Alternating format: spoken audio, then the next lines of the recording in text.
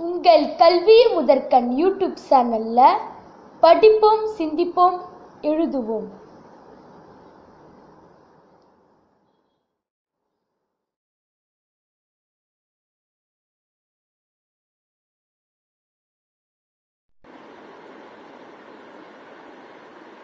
People who are engaged in the production of goods and services are known as producers.